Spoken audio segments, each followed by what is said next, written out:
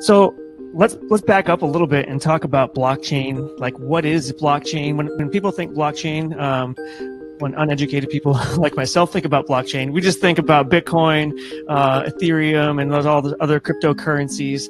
How are you using that sort of technology, and how does it even relate to um, what you're doing?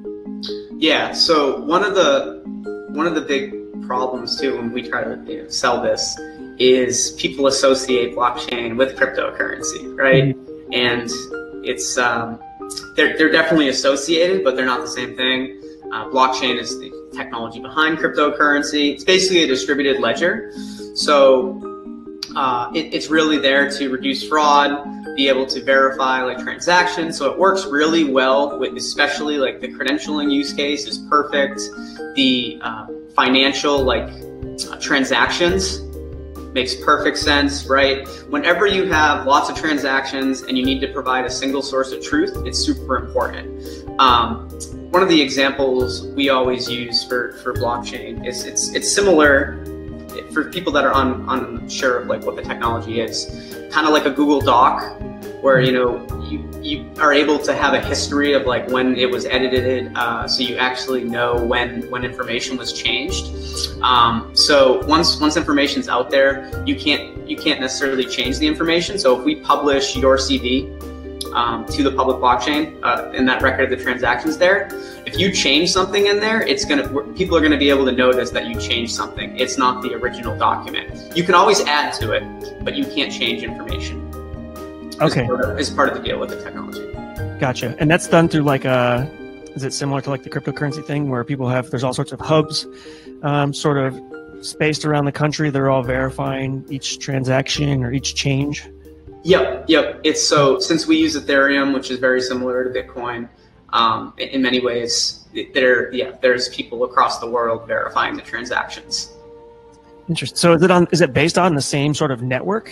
Um, that same sort of verification network that the cryptocurrencies are based on, or is it just the underlying technology component that's the same? Yeah. So like we we need to pay. So we're just paying for the transactions right now. So okay. we need to buy what's called Ether, which is mm-hmm. basically like the the fuel to, to process these transactions. So the only difference is we're we're paying for it versus the you know if you were buying cryptocurrency, you're paying that transaction fee.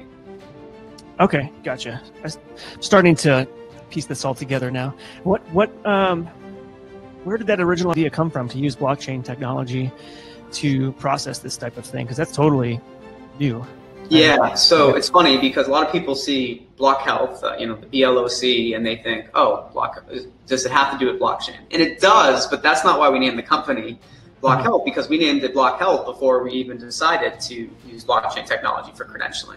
So, um, what one of the ways that we actually got the idea is we were going through this and we were having trouble with the credentialing process when we were staffing, and we actually talked with this he was like an intern at uh, some investment fund who was really big on blockchain technology. He was like, credentialing is a perfect use case. Here's why.